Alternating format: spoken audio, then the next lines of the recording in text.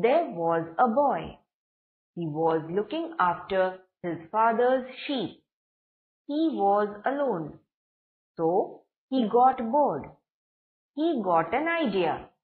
He cried, Tiger! Tiger! The villagers came running, but there was no tiger. The boy said, I was having fun. So the villagers went back.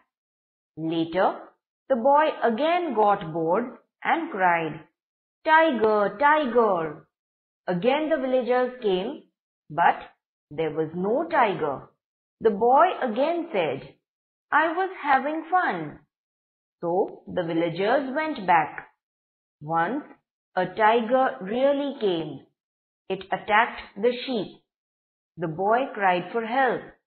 The villagers ignored his cries because they thought that the boy was having fun. The tiger ate a sheep